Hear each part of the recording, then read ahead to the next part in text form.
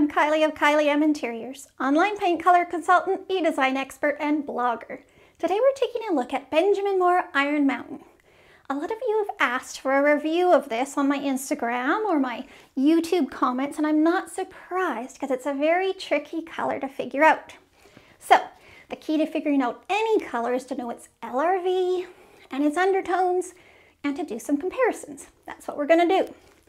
So Iron Mountain has an LRV of 11. So LRV lets you know how light or dark a paint color is on a scale of 0, which is black, to 100, which is white.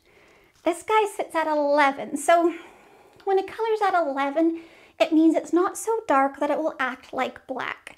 Iron Mountain will never act like black. Doesn't matter what you do with it. It is too soft and light for that, even though it looks pretty dark right here. Now, when you're looking at dark colors, the best way to pick the best dark color is to compare.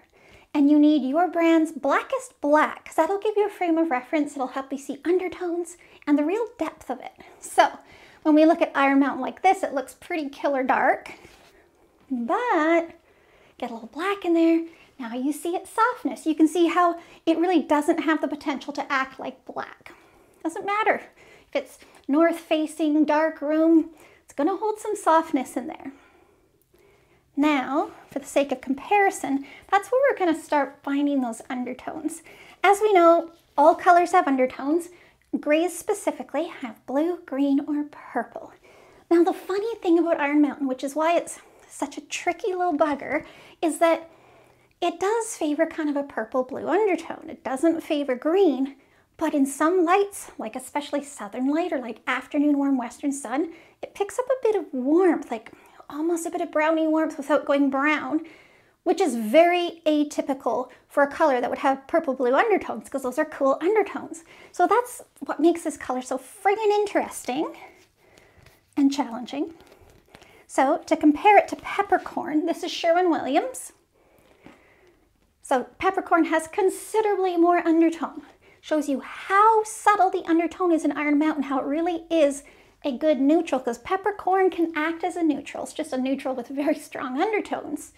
But you can see how much more velvety, soft, muted undertones. If we go stronger into Hale Navy, again, you see that little bit of warmth in Iron Mountain? Just a fraction of it. It's so interesting. Kendall Charcoal. Oh, I've got a couple here. Kendall Charcoal and Chelsea Gray. These two, these are grays with a green undertone. So it'll show you how Iron Mountain just doesn't really harbor that color very well.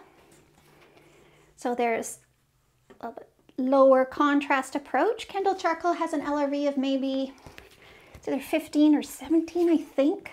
It has the green undertone. Chelsea Gray has the green undertone. While it doesn't make these undertones blatantly obvious because they're not obvious, they're very, very subtle it does show us how the green doesn't really belong in there. Now I did talk about that bit of warmth you can find in Iron Mountain. You might be going, oh, I didn't really want a warm color and I don't want brown. I will show you brown. So it shows you how not brown Iron Mountain is and how strange it is that sometimes it picks up that bit of warmth. I just wanted to show you that it's not that you're going to have a brown color, it just has a subtle warmth to it. It's just so atypical for a blue purple, but it's hiding in there. Is that all I have? That's all I have for comparisons. That's it. So that's Benjamin Moore Iron Mountain. If you're thinking of using it for a feature wall, you'll want to think about a matte finish. Dark colors can look a bit garish in sheen and it will expose any flaws or poorly applied paint. So matte finish looks awesome in Iron Mountain. If you're doing island, cabinets, front door, that kind of thing, satin finish is amazing. One thing you'll notice with satin finish is because that increase in sheen, when the light hits it, even a color like Iron Mountain can look a lot lighter than you'd expect, and those undertones can come up a little bit more. So just be aware of that. So there you are, that's Iron Mountain. I have hundreds upon hundreds of blog articles on DIY update ideas, color reviews.